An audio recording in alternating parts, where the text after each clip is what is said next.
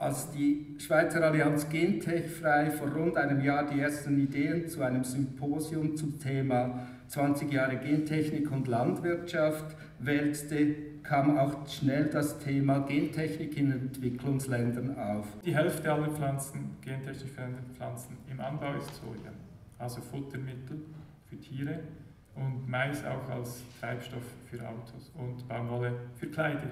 Also eigentlich alles Pflanzen, die nicht direkt als Nahrungsmittel gebraucht werden und damit auch nicht wirklich Hunger bekämpfen. On s'est précipité dans cette technologie au Burkina. On a vu le réveil de la médaille. Aujourd'hui, on a vu qu'il faut beaucoup de tests. Ça veut dire que la plante est toujours en train de muter en autre chose.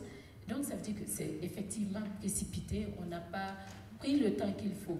This long-term process, which we've called Democratizing Food and Agricultural Research, it's an international program in which we're facilitating a rethink of research for the public good by, with and for citizens. Es gibt äh, die Deutsche Akademie der Naturwissenschaften, die Amerikanische Akademie der Naturwissenschaften, der Schweizerische Nationalfonds. Sie kommen alle zum gleichen Schluss und sie sagen, gentechnisch veränderte Pflanzen haben die gleichen Risiken wie konventionell gezüchtete Pflanzen.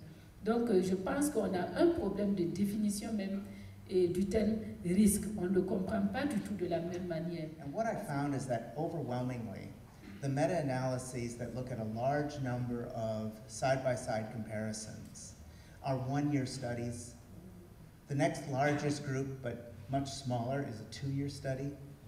And at most, there's one or two four-year studies. So they're very, very short term, but they're large in number. Und ich bin völlig äh, ein enttabuisierter Mensch. Ich will alles offen diskutieren, Vorteile, Nachteile. Wir müssen die Türe offen lassen, dass das diskutiert werden kann. Mais c'est juste une question de bon sens. À chaque OGM, ces herbicides. À chaque OGM, beaucoup de choses qui se greffent dessus, beaucoup d'argent.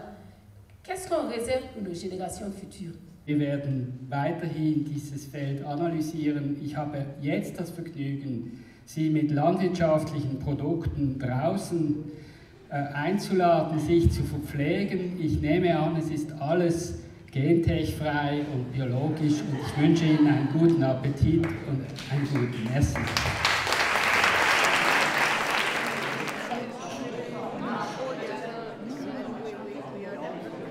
regalo.